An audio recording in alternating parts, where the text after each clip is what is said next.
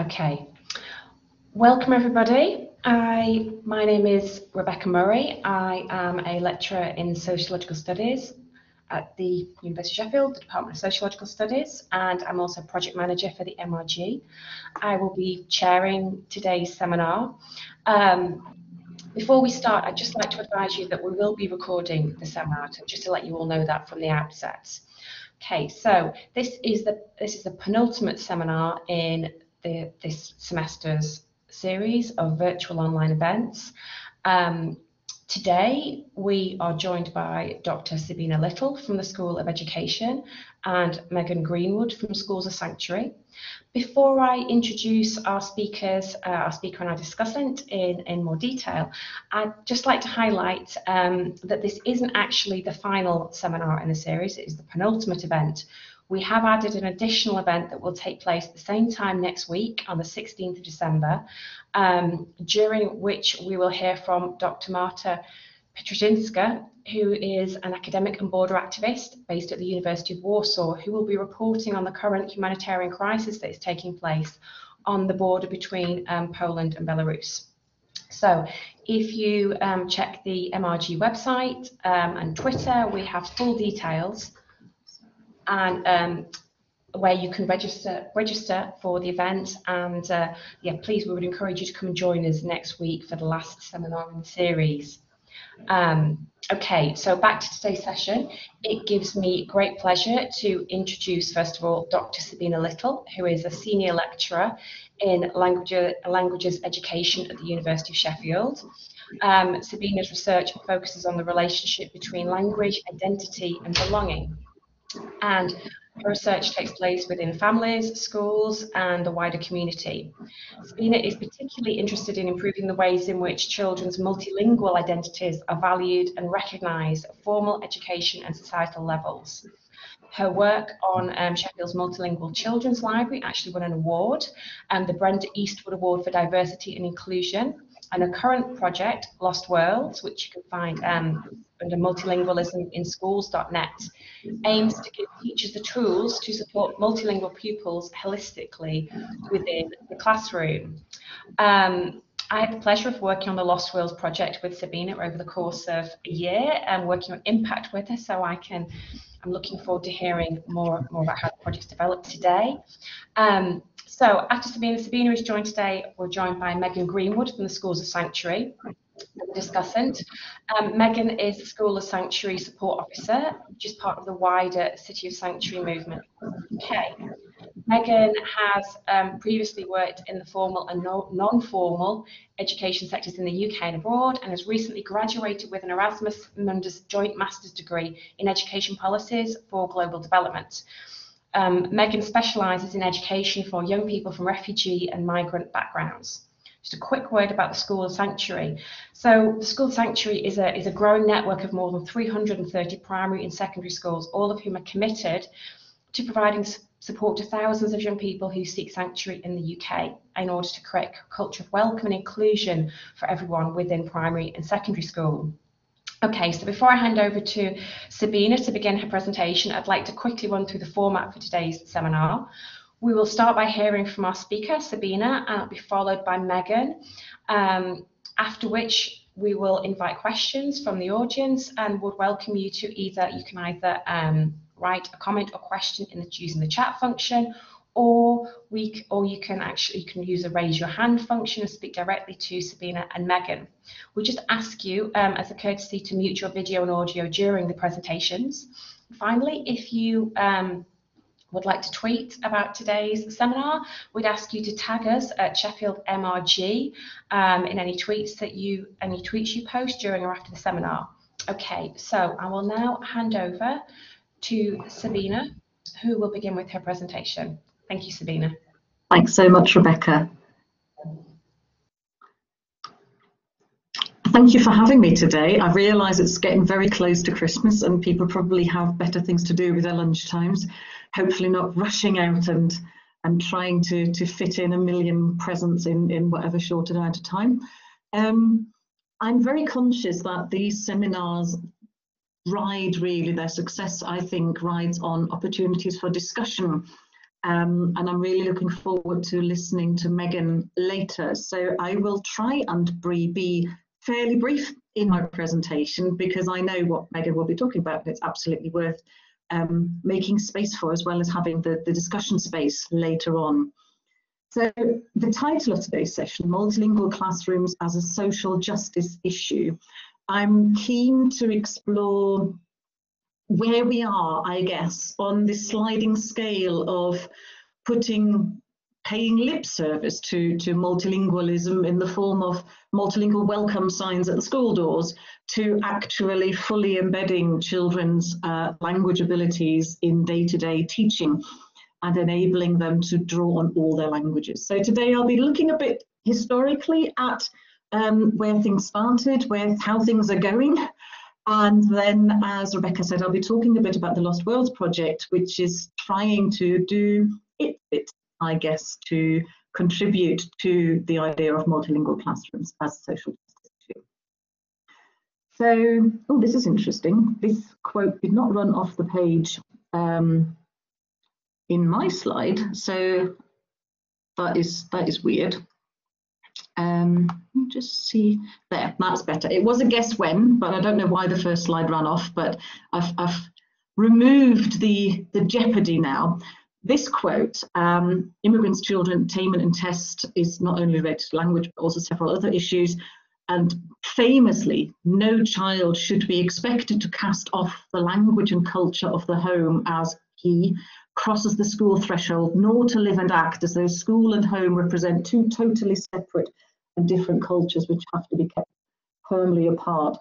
This is from the Bullock Report, which is a governmental document, a policy document from 1975. So in 1975, the Bullock Report, if anybody has the time to, to wade through a good 150 pages, I think, of really helpful discussions of how multilingual children could be supported. Um, it, it's worth reading, but then I guess it's worth looking at where we are with that today. So the idea of supporting multilingual children in the classroom isn't new. But unfortunately, as many governmental drives do, they, they sort of go in peaks and troughs. Um, they, they have their moment and then focus is lost. But actually, we are at the point now again where researchers for certain and activists are arguing that looking at multilingualism um, and what that means has become one of the most pressing educational concerns um, for the 21st century. And this is exactly what, what I want to be talking about from a social justice perspective, because I think we have moved to the point where we are aware that multilingualism has moved beyond the fact we know that guest children are multilingual. We're also aware that it is a skill set. It is a bonus. It's not necessarily always viewed like that in, in uh, the schooling context, but it is more than that actually. I would argue that children having their languages recognized and promoted and um, assisted with, facilitated is a right that they have, and that would make it a social justice issue. And to look at why I think that, um, I want to have a look at where we are now um, in terms of the number of children. So we have one in five pupils are first or second generation uh, immigrants or children from a migrant background, and those numbers are increasing. We're still awaiting the details from the 2021 census, but we are at the point where one in five pupils in our schools are registered as having English as an additional language. And there are more pupils than have English. More pupils have English as an additional language than those that are registered. So actually that number is higher, which actually makes multilingual pupils, if you group all languages together, the largest individual minority that our pupils um, represent so that makes it immediately a very pressing concern. However, language is still predominantly treated as a deficit model. So pupils who are multilingual are problem children. I put this in, in case you can't see, air quotation marks. They are problem children if they cannot meet the curriculum needs, but as soon as they can, the multilingual aspect of their identity more or less becomes invisible. So multilingualism is only ever presented as a problem. If they don't speak English well enough, it's a problem. But if they do, it, the multilingualism isn't necessarily always enhanced as a skill set, and instead it is it is just becomes invisible. And I've got some real examples from pupils about that later on. And this is partially, this is not a teacher bashing. Teachers face enormous pressures of what they have to fit into the curriculum. And these curriculum pressures often dictate a focus on English rather than exploring the full linguistic repertoire. And we are uncovering um, issues in, in teacher training, for example, which makes teachers not feel particularly confident in embedding multilingual practices in their classroom either. This against the backdrop of multilingual language qualifications being cut. Um, so opportunities to get GCSEs and A levels in heritage languages. And that means that most heritage language education now takes place in community schools. So actually, unlike what Bullock said in the 1975 report, it's not that their multilingual languages are their, their multiple languages are welcome in school. It is that they actually go to a completely separate space, a community school, to have their languages supported. And there is a lot of amazing work happening with various foundations, and Megan has got a beautiful video later on to share um, but this is not recognised in formal national policy. And as such, um, again, I would argue that it needs recognising and fighting for as a social justice issue. Very briefly, um, early years practitioners in particular will have, will have heard of the funds of knowledge approach, which is the idea that children bring their cultural values, customs, belief, etc., into formal education contexts and language is, is one aspect of that, but language and culture, of course, are very closely related. And that brings with it both advantages and, and disadvantages. Zipin talks about dark funds of knowledge. We need to acknowledge that the experiences pupils bring from home are not always positive. Um, I've worked with, with schools, and Megan will know again a lot more about this, where children from refugee backgrounds are sharing knowledge that they have um, that is isn't your happy clappy, you know, everybody bring a pizza because it's Italian week, but actually is is very disturbing, very deep funds of knowledge, but that still need acknowledging. Um, and again, language can come with positive, negative experiences, connotations, etc. So it's not a value-free um, area. This this idea of integrating multilingualism in the classroom. So I've, men I've, mentioned I would have a few quotes. On the left-hand side is that Bullock quote again, no child should be expected. On the right-hand side are three separate quotes from my own research, from different research projects. So one boy in year six um, had gone through six years in the same school, but nobody knew that he spoke Hungarian at home. In a different project, I was working with children on their multilingual reading experiences.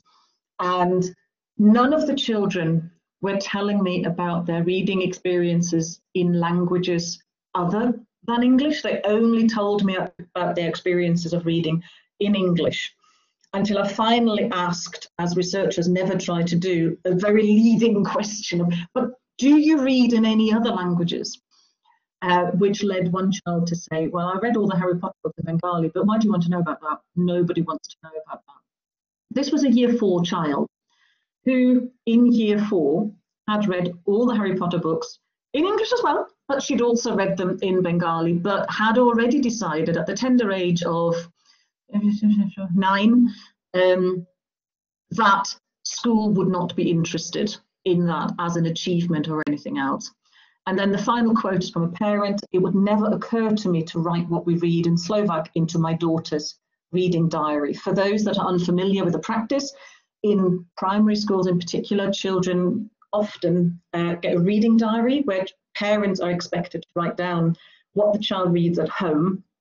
And um, until I myself had the experience of being told not to include our German family reading in the reading diary by the school, um, I hadn't thought that this was an issue. And since my own experience, I have made it a part of all my research projects, since they tend to be about home school um, exchange around multilingualism, of asking parents whether they write the reading in the home in, in the whether they write reading in the home language into the reading diary. And the answers are incredibly diverse. And very often it is something that when i talk to teachers is their immediate oh moment because it's the it's the very first easiest thing that a school can do to actively promote multilingualism to essentially let parents know yes write in the home language and i'm pleased to say that over the last three years or so, it has become much more common for schools to actively encourage that. So there is change happening, which is which is nice. Families have got an awful lot of reasons for maintaining the heritage language, and part of my work is looking into the emotional as well as the pragmatic reasons for this and ensuring that whatever the reason, um, these reasons are, are valued. Um, and I'll just briefly give an example here. This is not not expecting anybody to read this graphic at the moment, but if anybody wants to follow it up, there is a reference there. Um, but this includes this this framework includes aspects of well the heritage language is daily life. Our family can only survive if the heritage language is spoken by the child. For example, if you have a parent who does not speak English. And in those instances, it's often not questioned that the child would learn the heritage language because it is, is necessary for pragmatic, essential reasons. Um, like as, as it is here, it is, it is necessary. Whereas on the other hand, if it is necessary for emotional reasons, for example, because either the parent or the child has, has strong emotional reasons, that is often less well explored. But again, over recent times, it, it has become more common. And this is where, when Rebecca introduced me, she was talking about links between multilingualism, identity, and belonging, um, and well-being is, is part of that. So parents are often caught between school expectations and the hopes they have for the heritage language. And part of my work is to look into that. So reasons to support the, the heritage language in the classroom are partially exactly what Bullock was talking about, illustrate that all aspects of the child are, are welcome, um, show that schools are welcoming beyond the multilingual welcome sign at the door, and giving children the tools to learn with, with all their skills rather than ultimately trying to learn with one hand tied behind their back. And for those who might have to make the case um, with senior management or elsewhere, it is actually part of the British values um, to explore other languages and cultures. As such, that might offer opportunities. So it is actually also really, really clever if children are able to use their home language to explore language and puzzle out content. So one easy way for, to integrate this would be, for example, to enable children to have a working out box or a sheet for, for scribbling notes in all their languages before they answer um, a question. Then again, this encourages communication about all languages and that facilitates understanding around differences in grammar, structure, and ultimately helps all children develop better language awareness. And I've just given on the right hand side here an example from, from Chinese where Jin Tian Tian Shi Han Hao, today weather very good, would be the literal translation.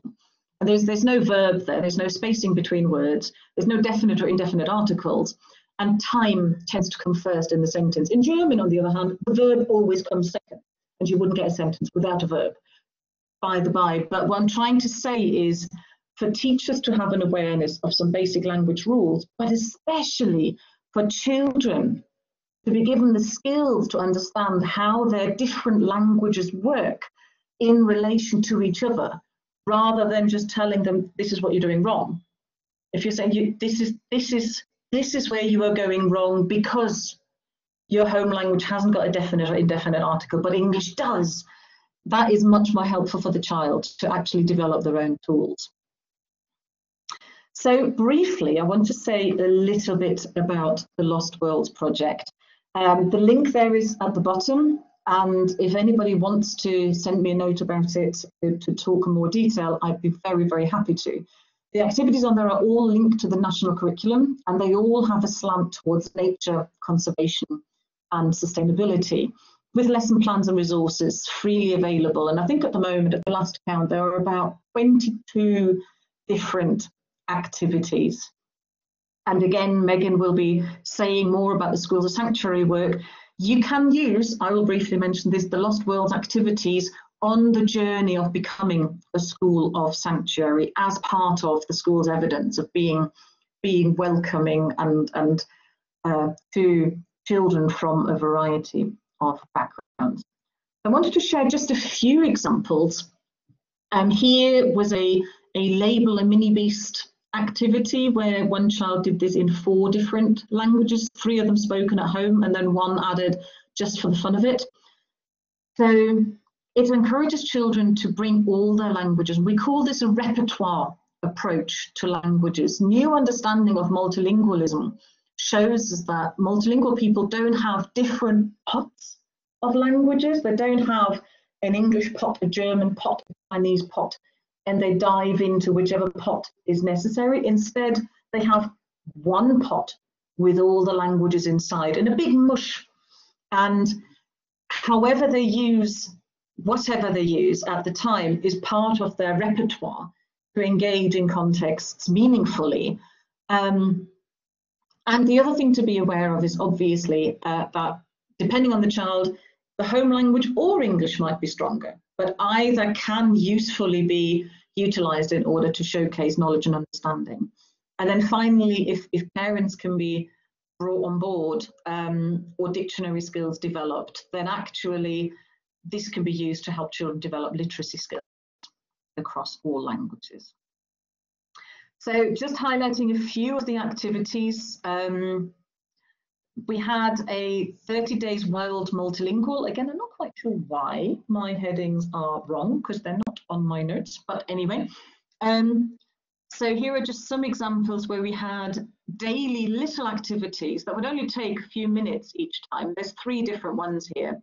Um, one that is an example of how we would post it on, on Twitter with the, with the ladybird there, and then some examples from different schools that were engaging with the activities and taking part in them. And this again are really straightforward ways allowing children to, to integrate their language into their learning. There are longer, more involved activities, uh, such as a river of reading, which is a, a chronological approach to children exploring how their reading has developed since birth, actually, not just from a skills perspective, but what books they enjoyed, what books were important. And I did one study where I was working with children from migration backgrounds and found that actually children from migration backgrounds have got far, far more complex reasons for choosing books to include in the river of reading, for what they represented in terms of identity, belonging, representation, but also books that were chosen to travel with them on migration journeys. So again, this is a fascinating activity that I'd be happy to talk to anybody more about um, if they're interested.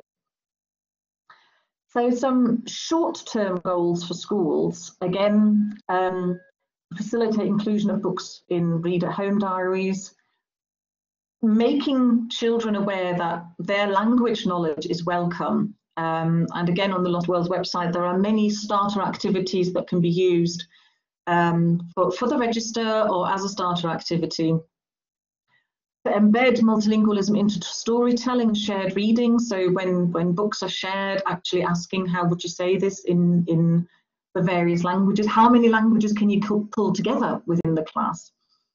And encouraging children to use all their languages to work things out and simply integrating multilingualism into praise and saying, oh, you know, I hear you speak Arabic at home. That's that's awesome. That's one. That's a start. So these are short-term goals. These are things that schools can start tomorrow.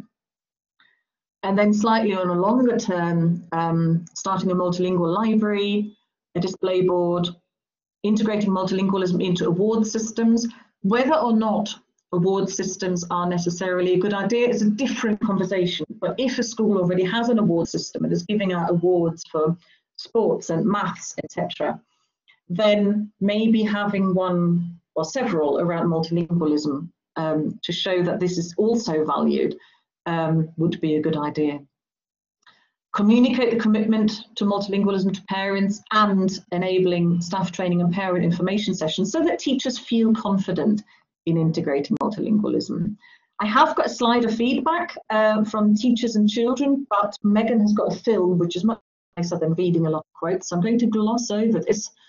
Um, but here's one brief, again, the Bullock quote on the right-hand side, and here on the left-hand side, this is from a school that did the Rivers of Reading exercise. Um, and I'll briefly read it out for, for anybody um, struggling visually. It was a real opener to hear from children who had never before spoken about their home lives, but by delving into their reading lives, we were able to bring together languages spoken at home and school. So again, as an activity, this wasn't uh, this wasn't particularly tricky to implement. Um, and I finish by returning to the Bullock report, um, where again, even in 1975, these children are genuine bilinguals, but this fact is often ignored or unrecognised by schools. Their bilingualism is of great importance to the children and the families, and also to society as a whole.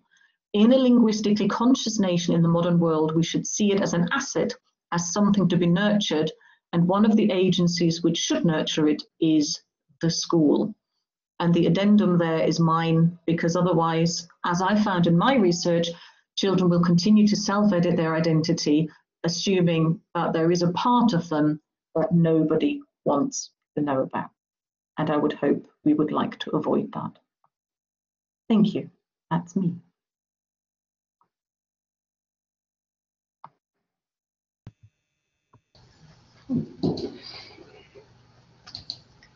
Thank you, Sabine. Thank you very much. Um, I would now like to hand over to, to Megan. Thank you, Megan.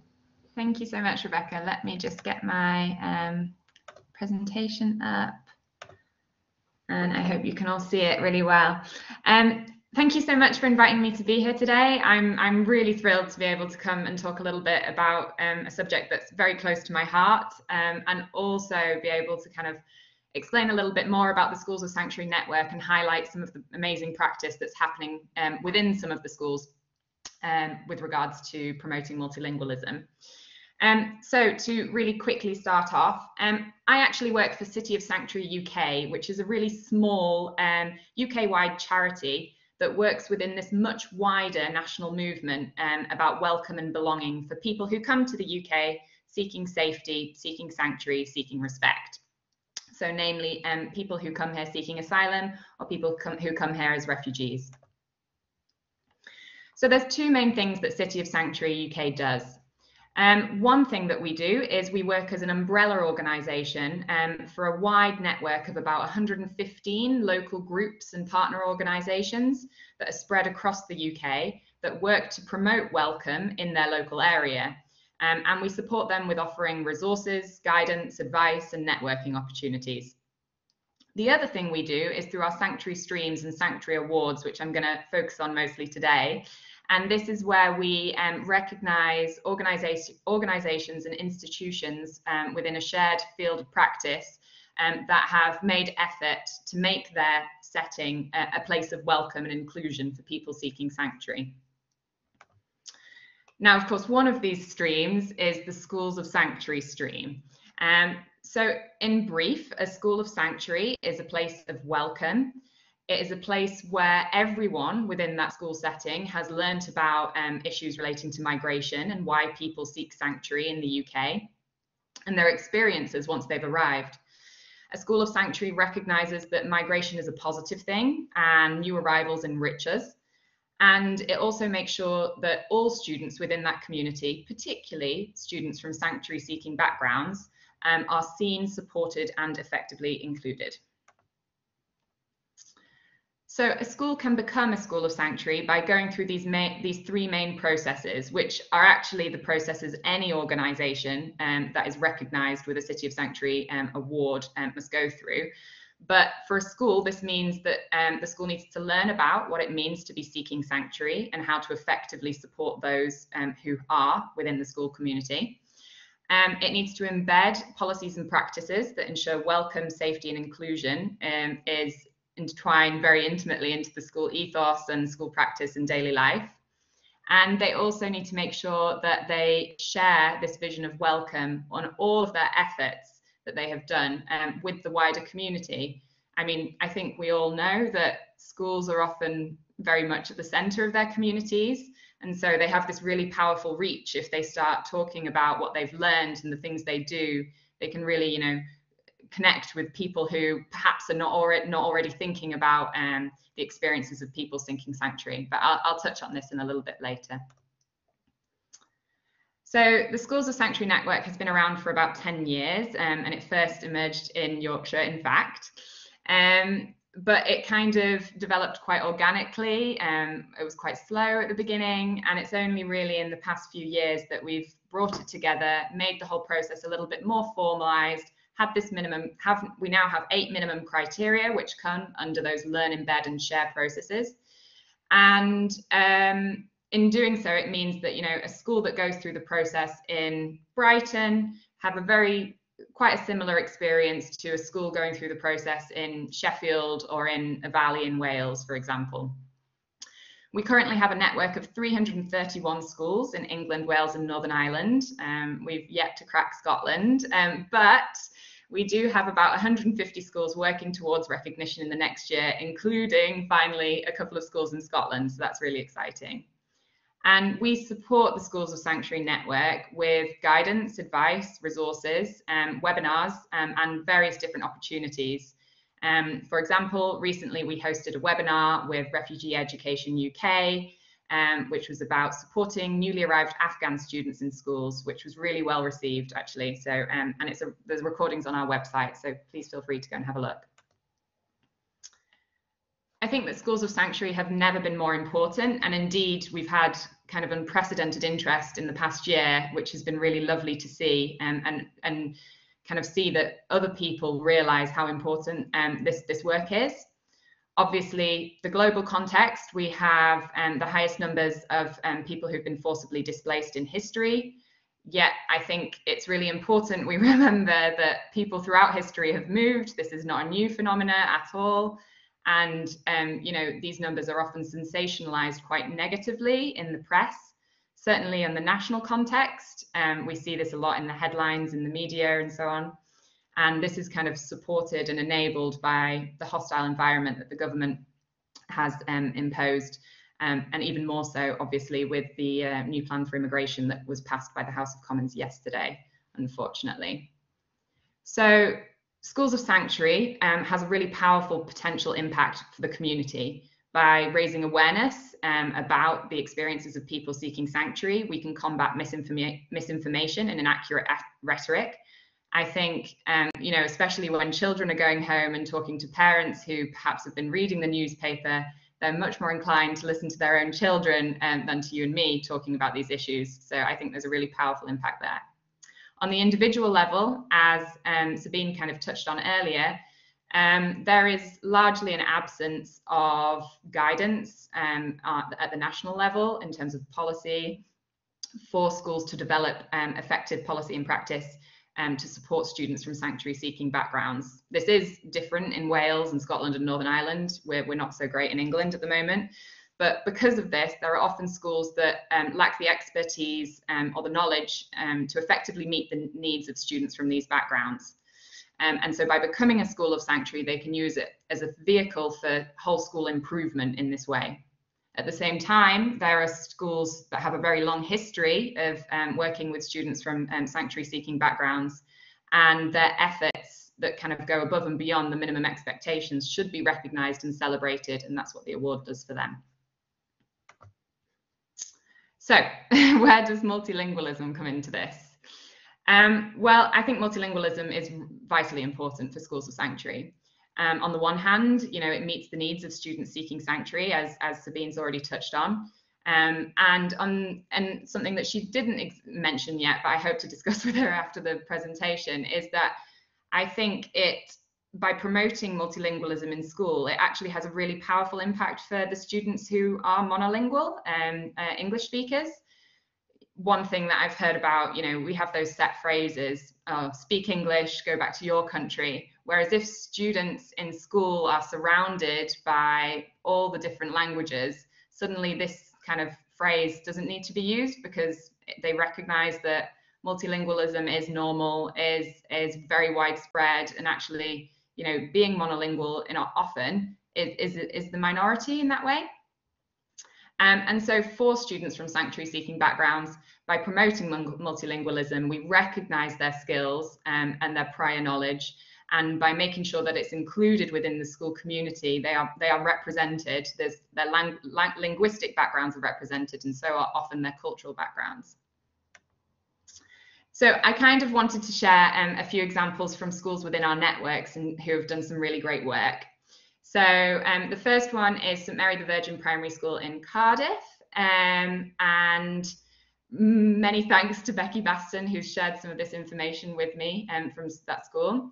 Um, so they have 18 languages in their school community, and about 83% of the students um, have English as an additional language. Now, school practice, we have the multilingual posters and signs that's being touched on. They also make an effort to, um, to employ teaching assistants who speak um, languages that are very predominant in the school community. But I think the thing that I particularly loved um, was um, their assemblies. So they have a weekly whole school assembly where at the beginning of the ceremony, at the assembly, every single person in the school community says welcome in all of the 18 languages that is spoken in the school community. Um, and as Becky mentioned, when I was speaking to her, the assemblies are now getting quite long. Um, but I, she thinks it's a really important thing, and, and students really love teaching, you know, that one word to the rest of the um, students in and staff in, in school, and it means that at least everyone can say one word in, in the other people's language. The other thing is that they have, um, at the beginning of the assembly, they also do a school prayer because it is a faith school. Um, it started obviously with a Christian prayer in English, but now they also do the prayer, um, I believe, in Welsh, um, and they have um, a Muslim prayer in Arabic. And most recently, um, a student who's Hindu asked to come and do her prayer in her own language. Um, so I think that's really a beautiful example. But um, I will let the students speak for themselves if that's okay. So let me just show you this video um, that the wonderful Becky Baston um, shared with me. Um, where am I? So if I go on to this, um, I hope you can see it. Please let me know if you can't hear. Okay, how does it make you feel when we use lots of languages in school? Um, it makes me feel happy because like so if I don't understand the language, um, uh, then someone else might understand it, and it helps us all understand each other, and then we all get along. How do you feel when you hear your own language being spoken in worship? Um, I feel happy because um, in not many people speak um my language in school, so when I hear it, I'm like, oh, it's I feel happy because like I didn't know that they understand it and it makes me feel welcome. Is it useful to hear lots of languages around school? Yeah. How would you feel if you only ever heard English in school? Um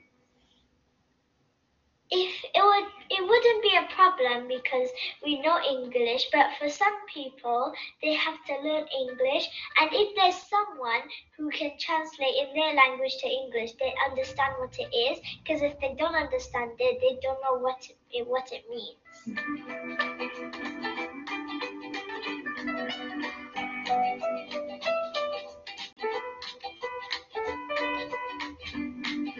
Anika, how do you feel when you hear lots of languages around school? I feel um like that everyone's welcomed and yeah, and I feel happy as well. And when you hear your own language, how does that make you feel? Um, that makes me feel welcomed and like that um they know my language because not really much people are Turkish here. So um when I hear um, my language spoken, I'm like, oh, oh, that's my language, and yeah. What is useful about having lots of languages spoken? if like someone like for example like they came from a different country not knowing english well um in the assembly greetings it, it might be their um language and they'll be like oh i know what that means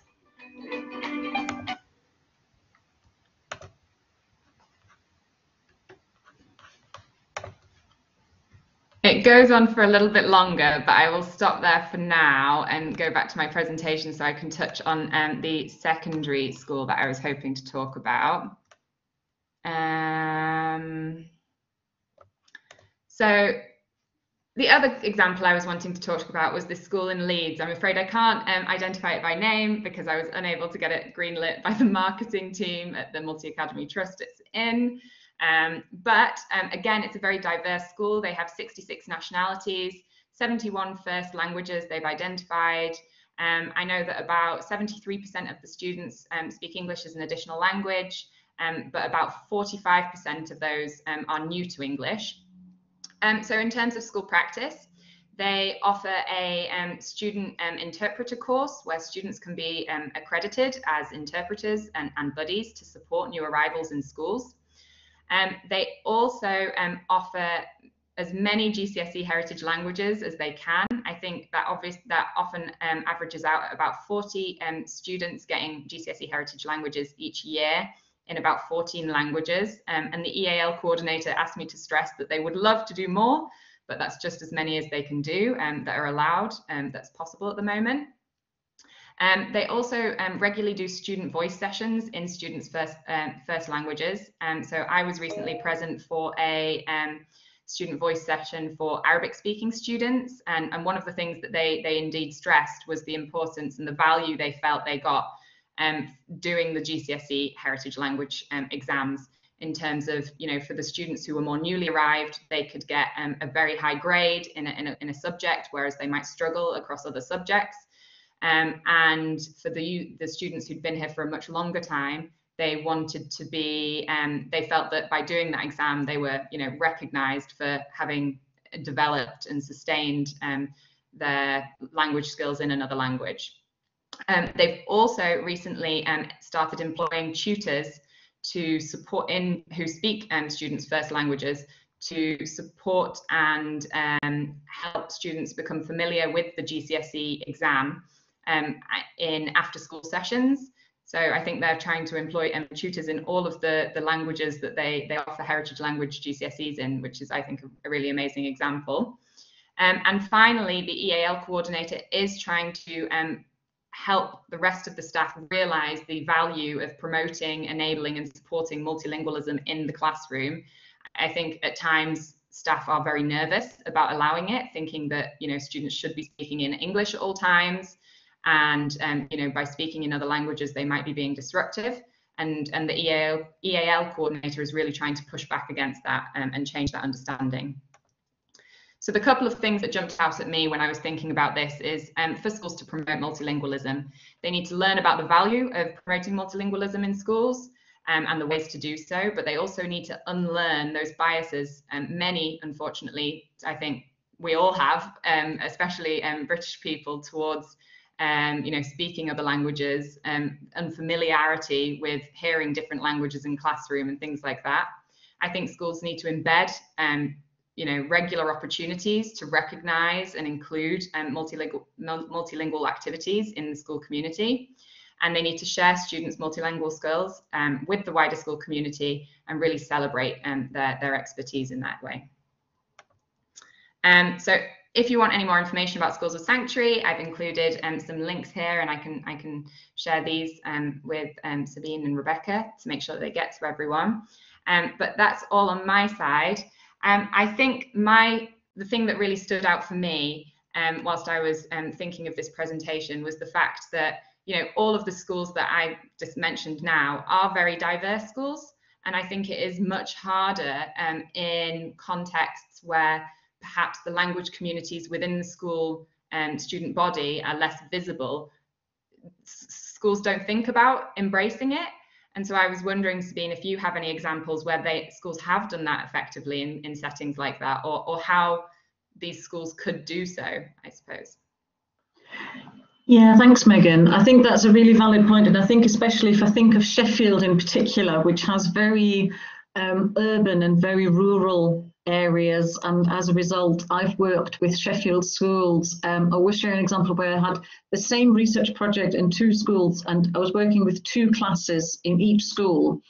It's where the Harry Potter quote earlier came from, and in one school, across the two classes, there was only one monolingual child and in the other school, the most international pupil I found had a Welsh grandmother. And, and that was the most diverse person in the in the classroom. So you are absolutely right. It it can be much much trickier, especially in communities that are predominantly white British. Um, and I think what's really interesting is um, that they also, I think that they tend to be the more the more rural areas, which quite often are also working class. Um, so they're not necessarily families that are always well travelled, for example. Um, and it, again, in it, I, I know an example of a school that wanted to organise a mosque visit, and the parents vetoed it. Um, so I think this is the sort of thing that um, that we're up against, I guess. And in to do a lot of education work with parents, um, with uh, not not so much with teachers. I think with teachers, it's, it's less education work in terms of convincing them, but more about how do we do this. Um, but bringing in for example, you know, there, there are multilingual theatre companies. There are, it's, I find it really tricky. I've had one school suggest the idea of a cultural exchange with another school in the same city. Um, but I'm very wary of this because I think that has huge potential of leading to othering and, and finger pointing and look at, oh, look how weird they are down there. So I think that could have the opposite effect. So I think it really needs to be a drip feeding um, but again, a normalizing, not a, oh, it's Diwali, nobody knows what it is. No, but, but you know, here's two worksheets on it. And then, uh, oh, now it's Ramadan, here's another worksheet on that. So I think, yeah, yeah it is that sort of drip feeding of other languages, other cultures. Um, I suppose you can't, you can't create multilingualism, multiculturalism where it does not exist. But I think especially through the use of media, thinking more from from the schools of sanctuary perspective than necessarily the, the lost worlds perspective, I guess. Um, I would say that there's there's the use of media to bring in those opportunities. Recently, um, Little Amal came to Sheffield, and that would have you know that that would have been a great opportunity to bring a school in and use that as a as a learning moment to explore more aspects of migration, welcome, forced migration, etc. Yeah, I completely agree. I, th- I mean, I think the one thing is, is that I think schools often um, assume that hmm. there are very limited language communities within the school setting. So, for example, um, you know, my family are from North Yorkshire, you know, rural, very white. And, um, you know, theoretically, I've spoken to schools in those areas where they say, you know, English is the only language spoken here. When actually, you know, in my family alone, we have three French, Spanish, and Arabic. Like, you know, I think that schools really need to review how they can um, find out about the other languages that perhaps the student doesn't speak, but perhaps a member of their family speaks to kind of challenge the idea that, you know, we are a monolingual school community. I, I think actually it'd be really rare to find that, whether it is yeah. like, you know, a grandma who speaks Welsh or, um, I don't know, a, a sister who's at university studying French, or, you know, I think there's always those connections and we just really need to lean into them to avoid that othering of other people who speak languages. Yeah. Actually, we all should.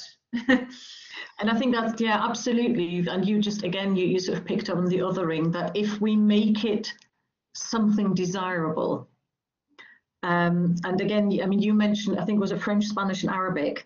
Um, you know, they're all big languages. And I remember, I, I often use the example where, um, I, so I live in a, in a very white rural area, and my son, being German for a while, was the most multilingual kid at school.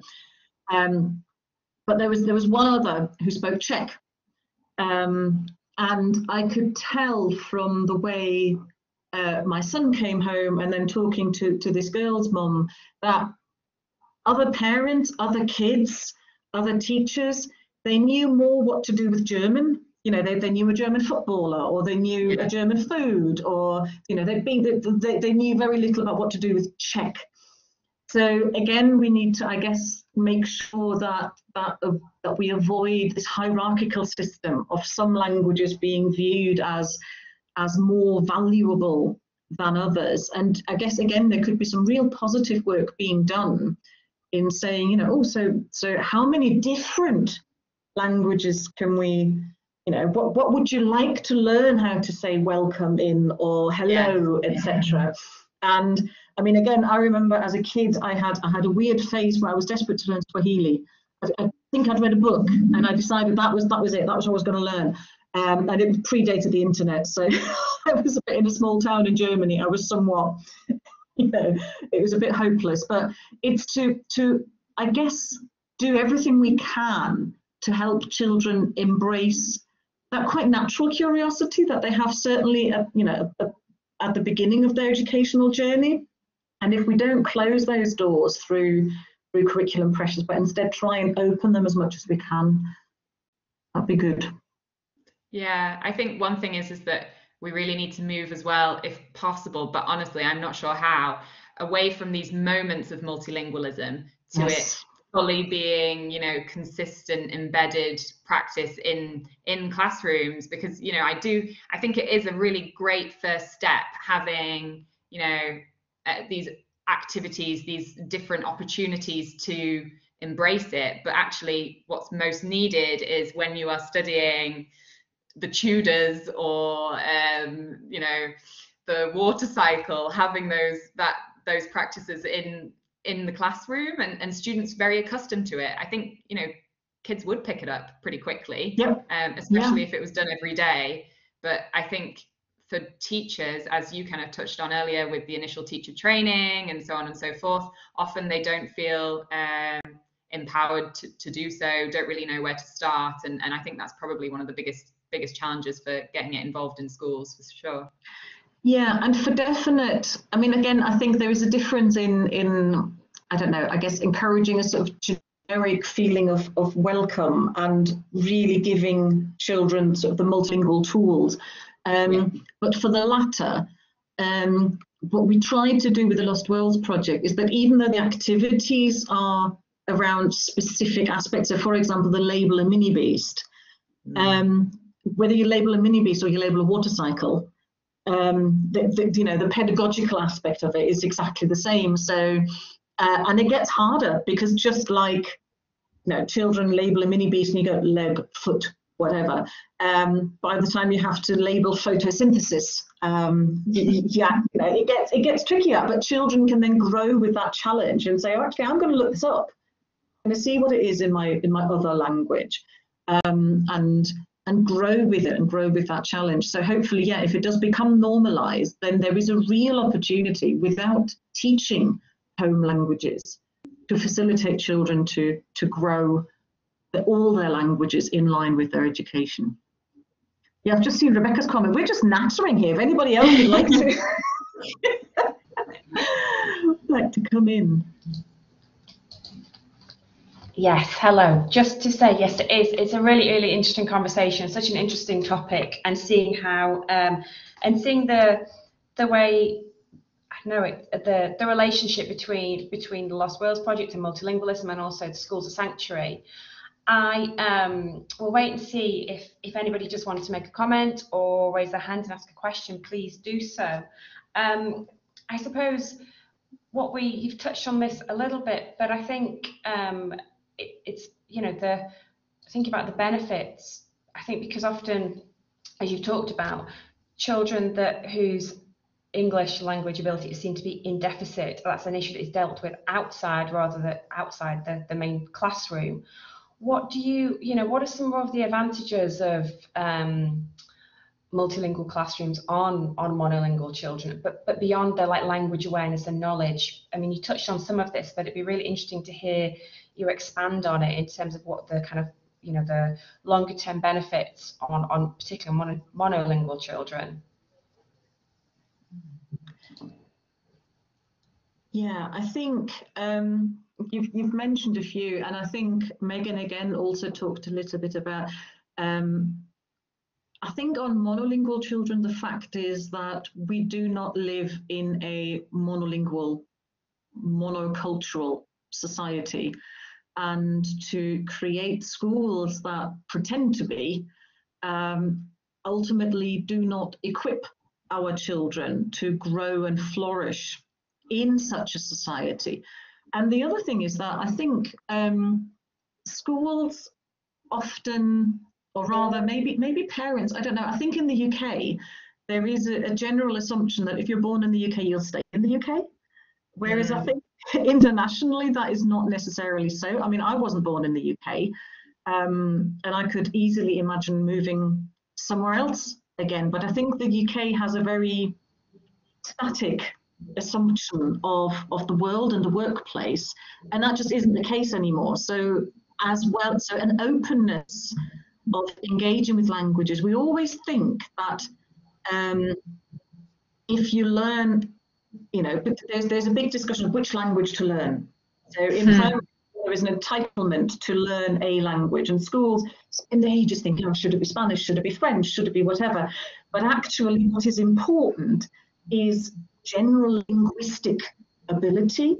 If you understand how language works, you get the tools to pick up languages.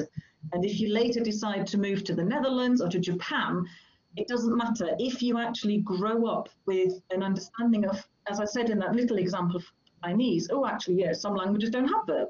Some languages, you know, have, have certain clauses that explain this, that, and the other.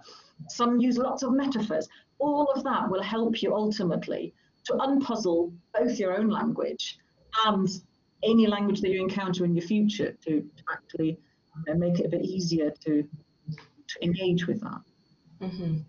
I suppose one of the challenges is rousing the curiosity of teachers, isn't it, in language, which I think you touched on a bit. It's them being interested and curious about language rather than fearful of other languages spoken in the classroom that they don't necessarily understand. Okay, I'm going to ask, um, invite Melanie, if you would like to um, ask a question, please, if you want to use your audio and your camera as you choose. Hi everyone. Yeah, I just wanted to say thank you for the amazing talk from both of you. It's been really refreshing to hear it, and I feel like it's a conversation that is talked about more.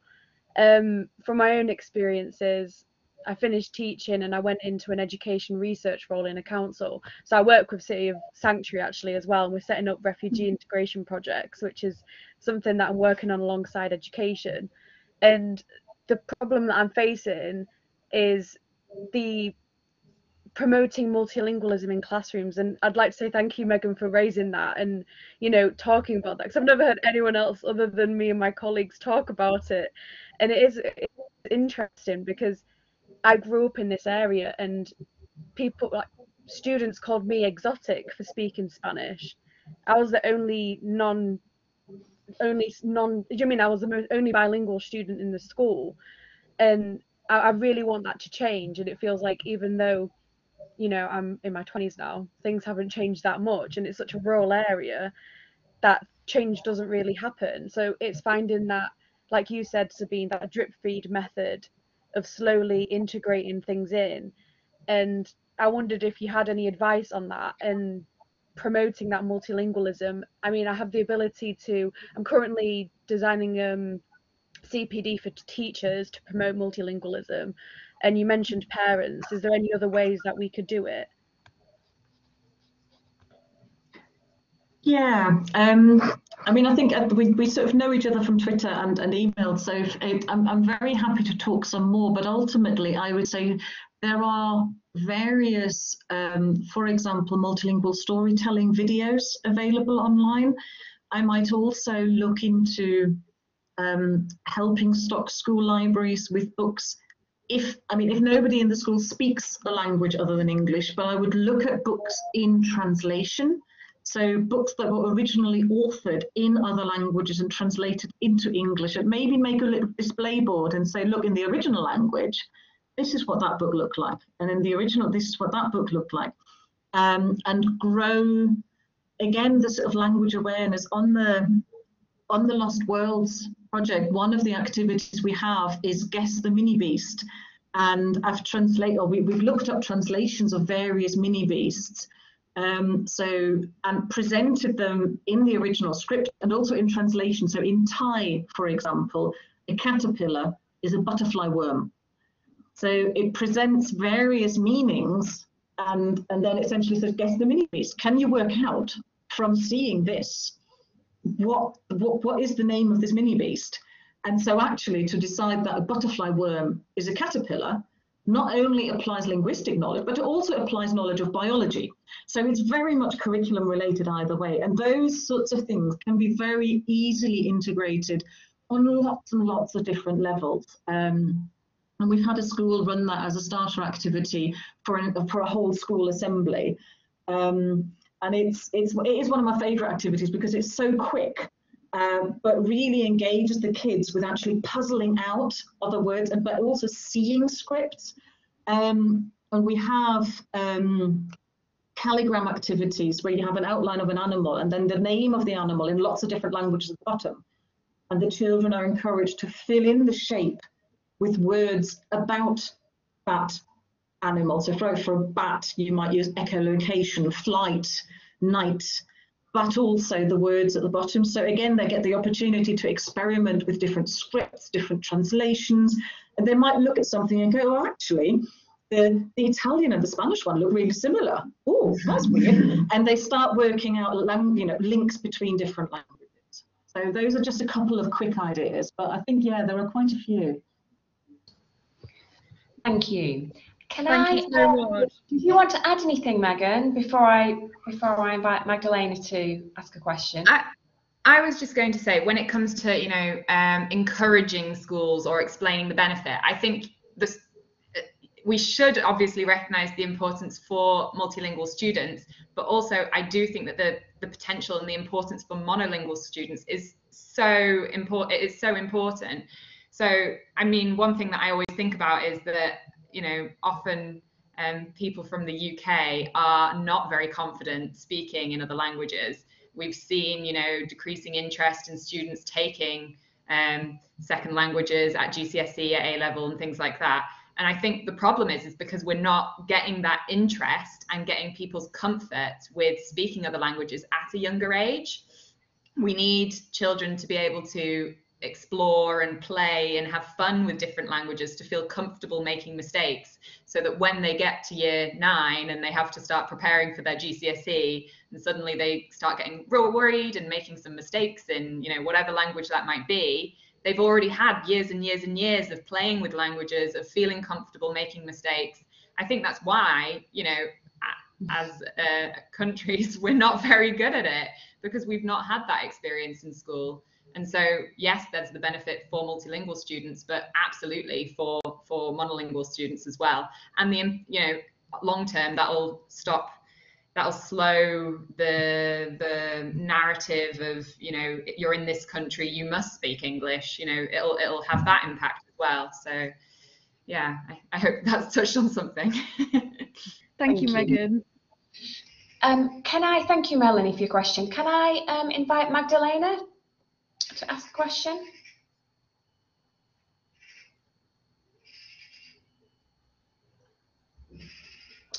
Hi, Magdalena. Are you, are you there?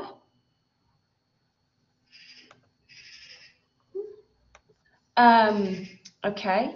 Um, I'll, uh, Magdalena, do you want to, did you want to ask a question or we can raise your hand again if, if you wish to continue. Um, I was just going to ask, it seems to me that you talked a lot about the practice, the kind of changes to practice in schools and what can be done and you know, in relation to getting school sanctuary status, in relation to lost world activities.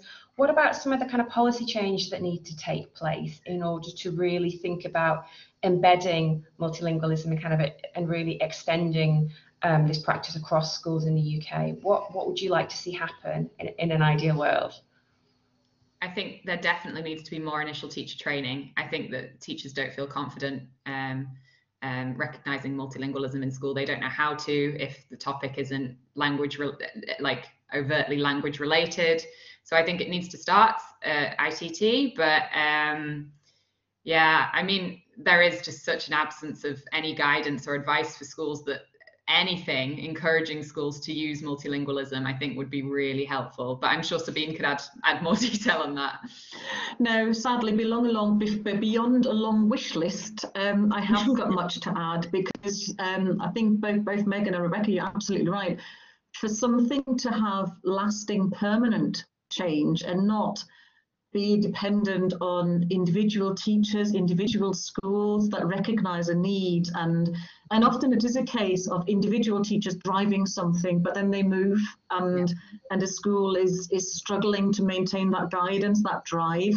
Um, so it is a case of, yeah, improving teacher training um, and ultimately lobbying. Part of my work, I spent a long time trying to influence from the top down but realize that actually, I think I now believe that the only way a policy change might be achieved is bottom up. That if we have schools that show that it can be done successfully, we might be so. For example, I've started talking to Sheffield City Council to work more embedded with teacher training and teach well CPD, continued professional development. Um, and from I think yeah, ultimately it's a case of proving proving not only the need but proving that it works and proving that it doesn't sadly that's a need that it doesn't detract from a school's performance yeah. on the things that are currently valued. Because um, I think every every teacher very rightly asks what what what will I end up not doing if I do this?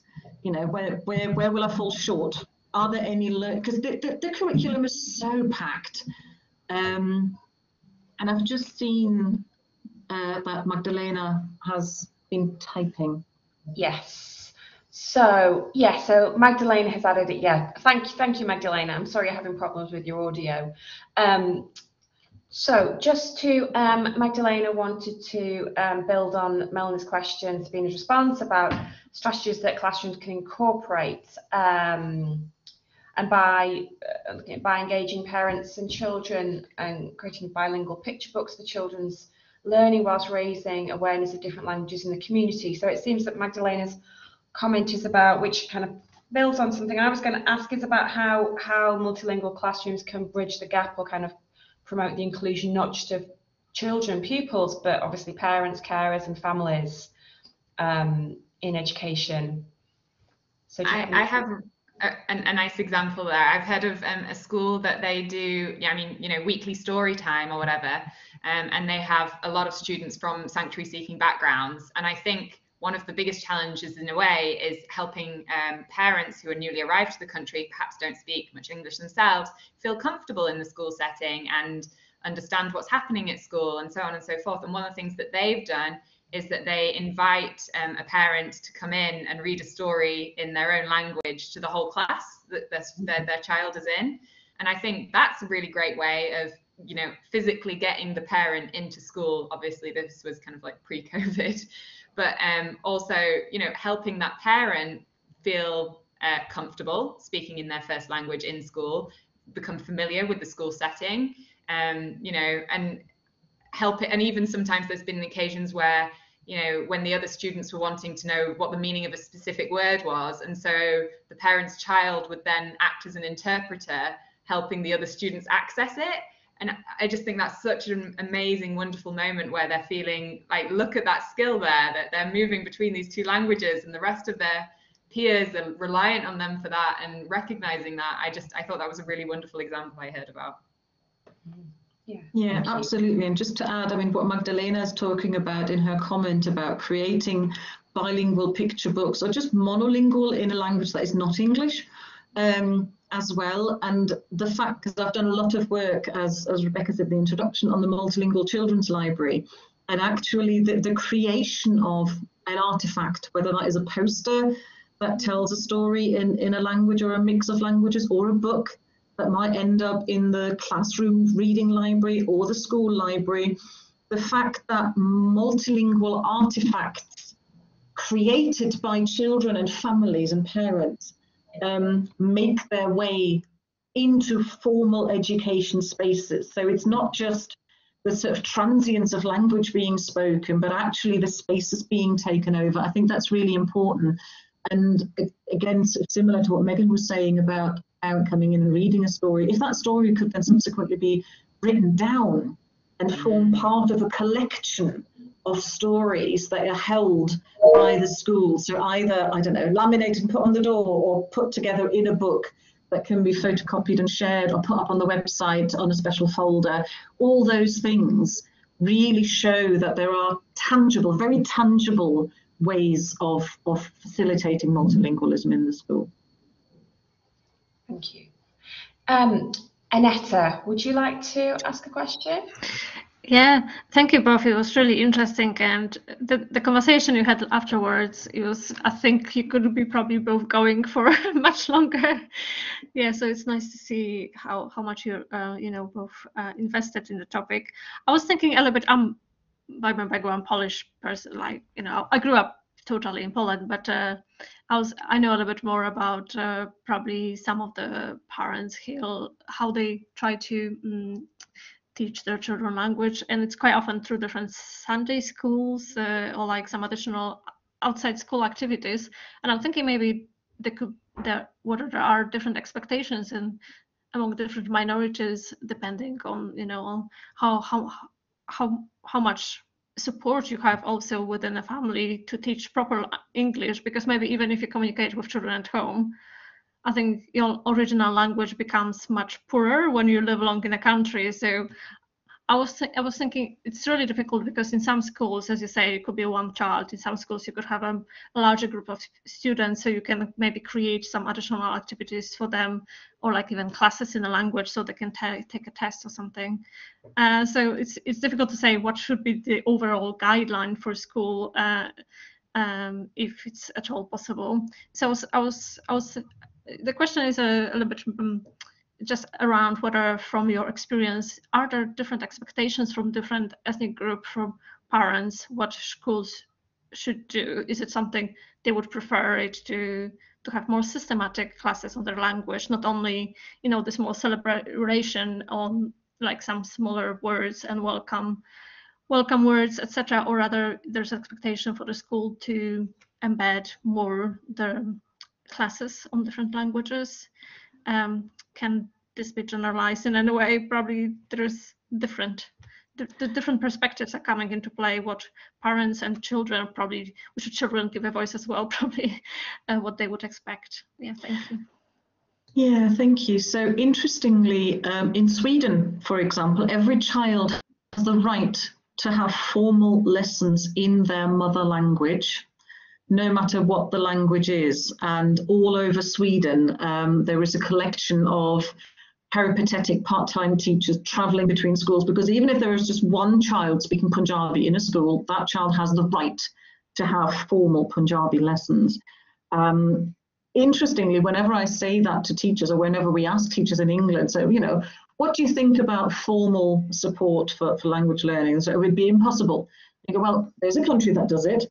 Um, so, but interestingly, you ask Anetta about parents. I have honestly never had a parent expect formal lessons for their child. Um, and I don't know whether that is a sort of lo- a result of a lowering of expectations over a long and hard battle of living in a country that does not value multilingualism, um, or whether that is is sort of genuine. I have I've worked with many parents who really struggle to support their child's language development. And interestingly, just as a quick anecdote, um, over lockdown, um, heritage language families went one of two ways normally. Either um, the children's home language improved because they spent longer at home and they had more opportunities of speaking the home language, or the whole home language uh, community collapsed a bit because parents had to do much more of the formal education and therefore spoke less in the home language and more in English foregrounding English even more. So even families where before they had a fairly strict divide of, oh, English at school, but our language at home, English invaded the personal home space and therefore became more difficult. So I don't know whether Megan's got anything to add to that.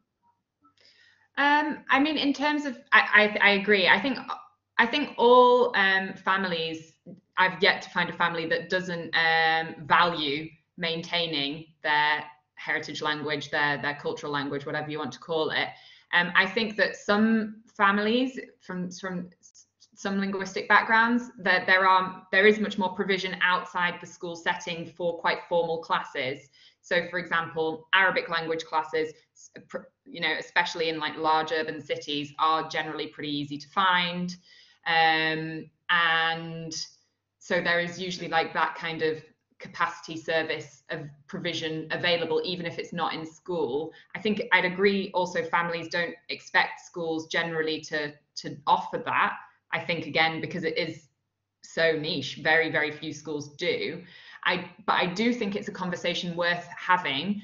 You know, actually requiring schools to to support that because you know with resettlement programs, for example, families are being resettled in increasingly very rural, quite isolated places where they may be the only family in that area that speaks that language. And so then accessing those language classes Uh, is really difficult. I've heard of families traveling like two, two and a half hours to go to a city on a weekend purely so their children can go to, you know, Arabic language classes and Quranic classes. And so, and is that what we, I mean, in a way that's great because then they can have that community aspect as well with people from the shared cultural background. And I think that's very important when they're so isolated. But should we be expecting them or to travel two and a half hours?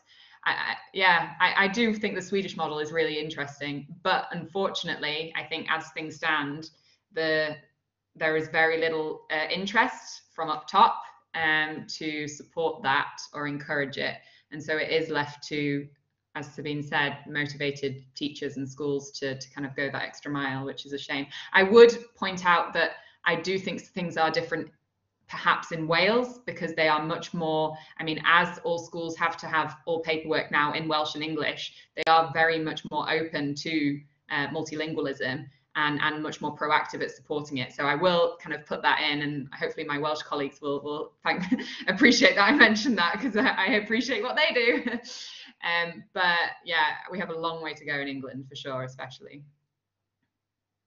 Oh, thank you so much. To I think this is a conversation that could go on so much longer, but we are we are we are we are we are slightly over time. Thank you. I just want to say an enormous thank you to Sabine and to Megan for today's presentation. It was a really yeah, it was really really interesting. And thank you to everyone who's everyone who's joined us today. Um, we yeah we really appreciate you participating in the seminar. I would like to just one final reminder that next week um, is our final seminar of the series, um, where we'll be looking um, we're looking at the current situation, the current humanitarian crisis on the Polish-Belarusian border. So same time, same place next week. Um, and you can find full details on the website, on Twitter. There'll be a full recording posted on Twitter once we um, from today's seminar. And finally, we will be announcing the semester two seminar series in early 2022. So we will be continuing um, throughout the rest of this academic year. So thank you so much to everyone, and we will hopefully see you next week.